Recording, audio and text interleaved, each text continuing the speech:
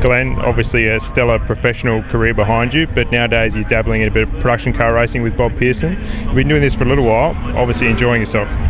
Yeah, I do enjoy, particularly get into the Evos. They're, quite fun car to drive. Um, they're quite nimble and and um, quite well balanced. They got lots of traction being a four-wheel drive car, so that sort of enticed me into wanting to have a run in this class. And also the class, potential-wise, can be very, very successful because it sort of brings us back to the, the basis of where motorsport started in Australia with the GTHOs and, and the uh, Monaros back in them days and all that, which is a production car style of racing. And um, and uh, that's that's what the sport needs also to get back to the, a bit more of a, a, base of a production car and, and, there's lots of good models and cars coming out through the manufacturers these days that, that can put on a pretty good show I think and, and to be a part of that at the moment is, is been very rewarding because um, we've had some great success at the start of the year. Um, Eastern Creek was a bit tougher for us but uh, this weekend so far it's looking pretty positive.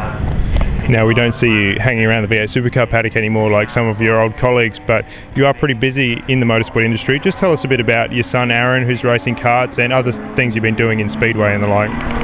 Yeah, uh, naturally, my son's uh, 15 now, and he started karts at the age of seven. So we've done a fair bit of touring around with the karting um, in that, in that uh, basically seven to eight years, and. Um, and naturally also involved in speedway in a little way, in, in, not as a driver, but in technical side of it, the suspension, shock absorbers, built quite a few shock absorbers through the speedway game, um, and I got introduced through a friend of mine who was racing speedway probably about five or six years ago, and, and about three years ago I actually went to America with him to do um, dirt late models over there for, for two weeks. So I enjoy that side of it. It's technically very challenging because the, the track changes every single race you go out there, so you've got to really think of what setup changes you make between race to race by look just looking at the track surface. Where this style of racing, uh, the track surface never changes, and um, you really know what you got every race you go out, and you make very little changes. So that technically challenges me, and that's the side of it I really like. Um, and I've always liked throughout all my motor racing career, naturally owning my own race team and doing my own car engineering and all my own That sort of side of the motorsport I really enjoyed, and um, I still do a fair bit of that today. Do you still keep an eye on V8 supercars at all? Obviously, as a guy who drove for factory Nissan, Ford, and Holden teams, must have pricked your interest up a little bit this year. Oh yeah, for sure. No doubt, I, I do um, still watch it and still interested in what's going on because naturally it's been my livelihood over my whole career and and and what I've been brought up as a child in motorsport because my dad raced cars and that's all I really knew. Well, still know.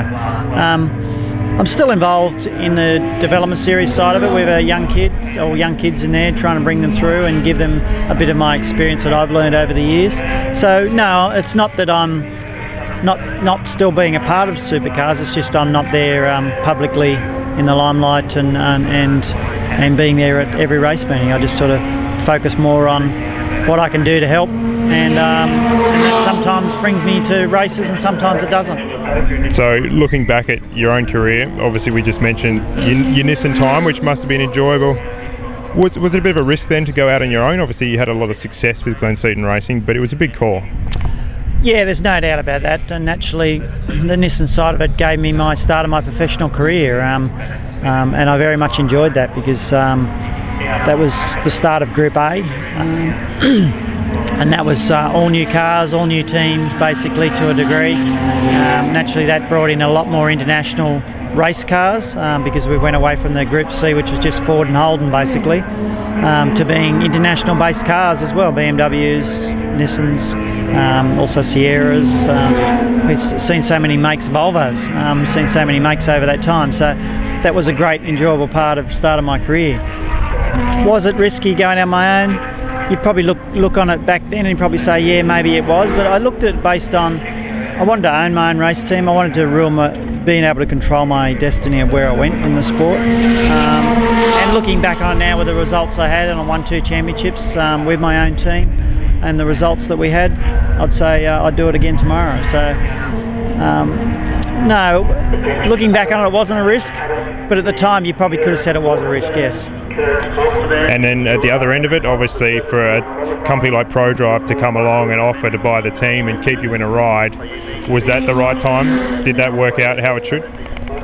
Um, yeah, it did actually, because um, it was sort of getting to a point where the sport financially was was becoming very expensive to be competitive, and I could sort of see that that um, the, the money wasn't probably around to be able to be more competitive than I wanted to be, and the opportunity came along where, like I say, ProDrive approached me to, to buy my race team, um, and it was about it was exactly about the right time to, to me wanting to get out of ownership, driving, running a race team, and that because I, it was at the time when it was very difficult as a, as a driver owner to be able to be competitive because you, you needed to spend so much more time in training, keeping yourself fit, and also just focusing on your driving side of it. And I couldn't do that um, at that sort of time. So I just um, I, I, thought there was a great opportunity to, to sell to um, ProDrive at the time, and looking back on it now, it was. I had a great two years with them.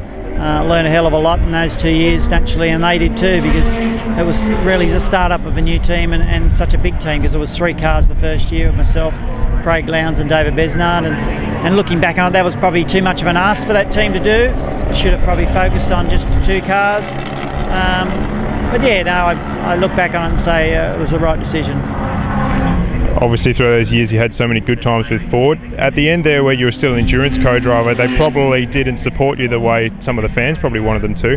How do you look at where they are now in potentially not being involved next year? Is that a sad thing for the sport?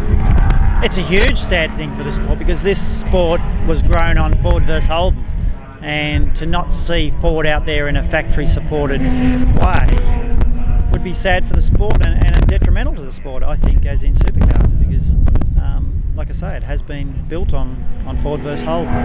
Um, I suppose I don't know the, the nuts and bolts behind the scenes of what why Ford can't be a part of it, and maybe it is financially that that uh, they've had to pull pull back on it. And, and, like let's face it, the world has got pretty tough in the last five or six years because of the financial crisis, and, and companies are really struggling. So, but um, it would be sad to see them go for sure because they've been involved in motorsport for so long, and particularly in our form of touring car come supercars in Australia for so long, and it'd be sad to see them go.